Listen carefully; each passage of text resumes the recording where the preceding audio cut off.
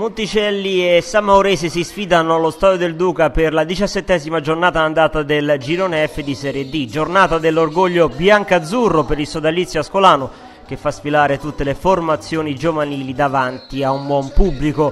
Monticelli oggi in tenuta rossa con bande nere. In avvio c'è questo calcio di punizione di Iotti dalla sinistra, scontro tremendo tra Passanti e Ciabuschi, alla peggio il diciannovenne attaccante ex primavera dell'Ascoli che viene soccorso dai sanitari e poi dovrà abbandonare la contesa. Al suo posto Stallone schiera Aloisi, cambio anche di modulo dal 3-5-2 al 4-3, qui ci prova Gesuè col destro dal limite, para a terra Passanti.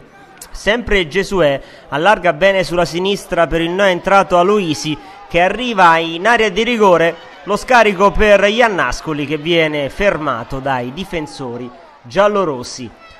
Alza i giri la squadra di Protti.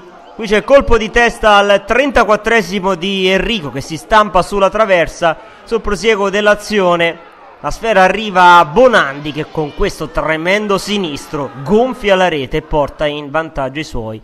Gran gol del fantasista della Samorese. Ancora lui in mezzo per Paganelli. Spizzata di poco al lato. Sempre Bonandi, le sue finte, arriva al limite dell'area, altro mancino potente, Marani.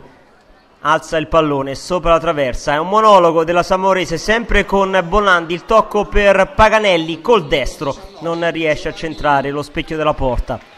Nella ripresa entra Leon Giovannini, arrivato al Monticelli nel calciomercato invernale dalla Civitanovese. Qui Iotti col mancino di poco al lato. Lancio dalle retrovie di Sosi proprio per Giovannini che viene steso in aria da Gualandi. Calcio di rigore, così decide l'arbitro Sessa.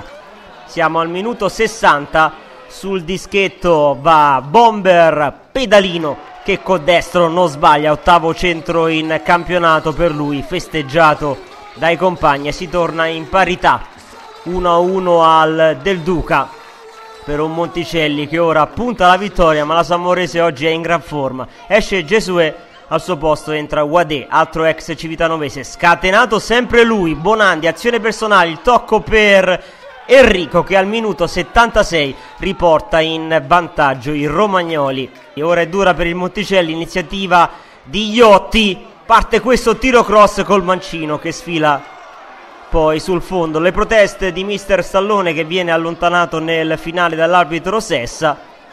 4 minuti di recupero, ma la squadra ascolana non riuscirà a trovare il pareggio. Finisce quindi a quota 22 punti, il girone d'andata comunque positivo per la squadra di Stallone.